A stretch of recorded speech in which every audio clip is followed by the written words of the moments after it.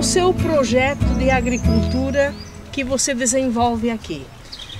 Bem, nós produzimos aqui produtos orgânicos. Na propriedade nós produzimos o leite orgânico, o queijo, o porco orgânico, o peixe e as nossas galinhas aqui tão, são também, podemos dizer, orgânicas também, porque a alimentação delas basicamente é toda orgânica. Aqui no, nosso projeto foi de 120 placas é, fotovoltaicas. Né? Hoje nós temos instalado inicialmente 60 placas. Com essas 60 placas nós estamos produzindo em torno de 2.500 kW mês de energia. E a propriedade ela tem um consumo de 1.700 em média, 1.700, 1.800 kW. Então já está nos sobrando em torno de 700 kW mês de energia.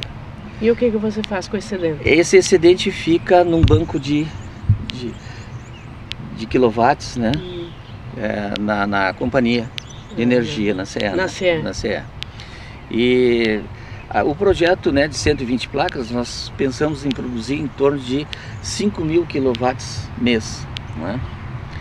E na esperança de poder repassar essa, essa energia para outros produtores rurais aqui da volta.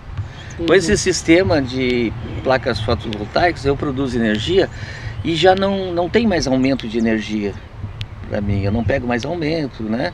Uhum. E, porque eu estou praticamente produzindo, né? Uhum. A CE está aproveitando a minha energia. Gera um excedente. Ele gera um excedente e esse excedente eu quero passar para outros produtores. Uhum. Para ele produzir alimentos com um custo mais baixo né? e conseguir sobreviver, ele tem que procurar se autossustentar uhum. né? sendo em energia, em gás. Né?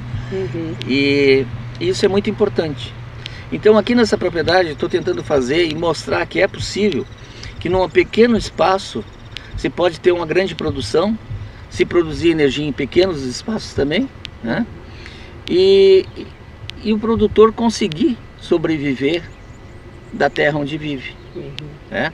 Porque hoje nós temos muitos pequenos produtores no Rio Grande do Sul que estão desanimados né, pelo preço do, da energia, do combustível, né, e ele podendo produzir na sua propriedade, né, com um juro mais baixo, com financiamento para produtor, uhum. ele consegue uhum. resolver muita coisa da, nesse sentido. Né. Muito né? bem, é o pacote do convencional, é, convencional. que deixa... Aqui a propriedade está sendo autossustentável em todos os sentidos. Uhum. Fizemos o queijo aqui, preparamos a massa, né? O soro sai diretamente daqui para o chiqueiro dos porcos, né? Por gravidade. Essa aqui é uma prensa, né? Nós temos prensas para queijos de 1 um quilo, queijos de meio quilo e para queijos de 1,5 um quilo e meio quadrados. Essa é, é, é prensa de, de 1 um quilo redondo. Usamos água quente, né? Nós temos instalação de água quente, aquecedor a gás. É, então nós temos a torneira elétrica né, de água quente e temos também água quente do aquecedor a gás. Então esse praticamente são os utensílios que a gente usa nos queijos, não sai daqui de dentro da sala, tudo que se usa aqui dentro dessas duas peças fica aqui dentro, nunca sai daqui.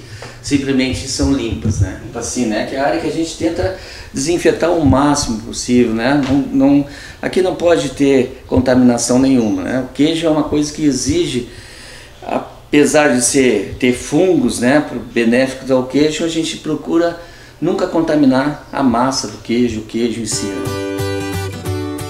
Essa, essa sala é uma sala de maturação de queijo, ela fica com uma temperatura de 12 a 16 graus com umidade controlada. A umidade aqui dentro da, da peça tem que ficar em torno de 70 a 75%, né? umidade relativa.